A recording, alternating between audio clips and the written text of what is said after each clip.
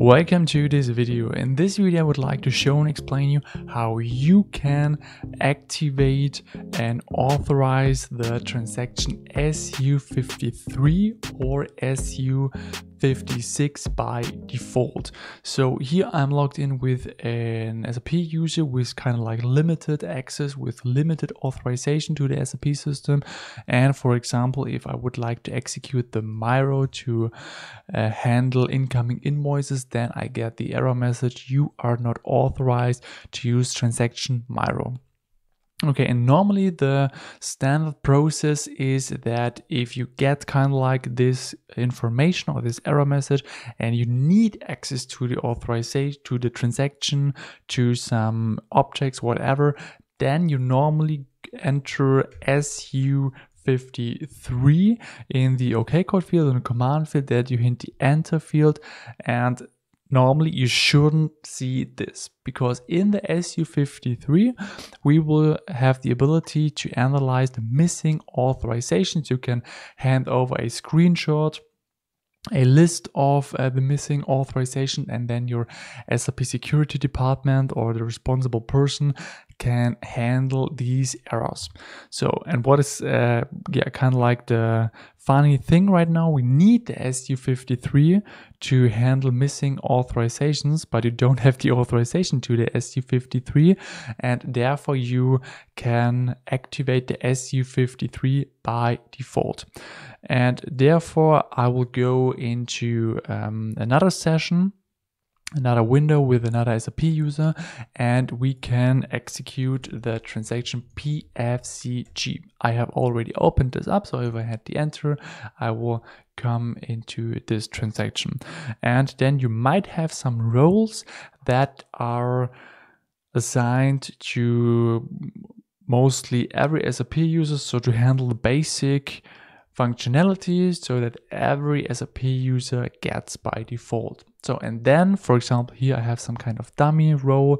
You go into the edit mode, you go into authorizations to change authorization data.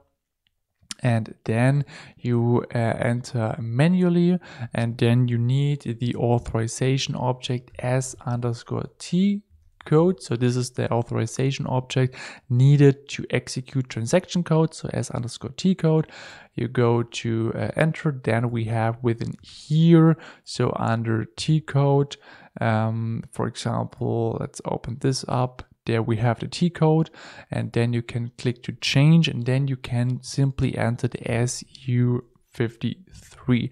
If you want to, you can also enter the SU56 to have this also um, by default, but I think the SU53 is the most important one. Then you click to uh, transfer. Then within here, you now have the authorization within this role to execute the transaction. Now you can uh, generate this role. Um, yes, click on generate and then the profiles were updated. So if we go back, then now we see that we have our green light, not the yellow or red light, and this is perfectly fine. And now, if I go once again to another SAP user, and then now I try to execute the SU53 enter. Now I can see that the SAP user now has the authorization to execute the SU53 and as mentioned here you get all the list of the failed authorization check. This can be you can make a screenshot. You can export it to hand this over to the SAP security department whatever. And then you can enhance also the missing authorization in this case for the Miro. And there's also one possibility to basically yeah, set up the SU53 by default.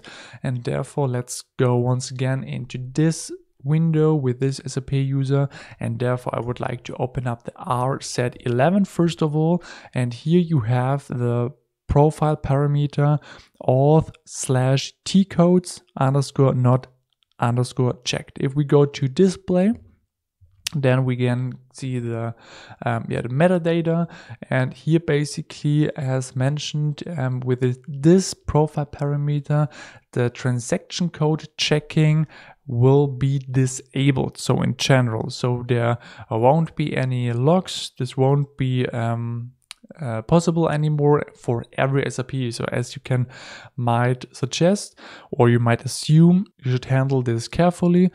Um, but this is a possibility. Then you can go to the RZ10 transaction, um, to your default uh, profile, to your version, um, then within the extended maintenance, and in this case, click on change and here we have the parameter already with no parameter value and there you can simply uh, double click or click to change and here you can enter SU53 hit the enter go back and now you can uh, save this click on yes and then yeah the parameter has been applied.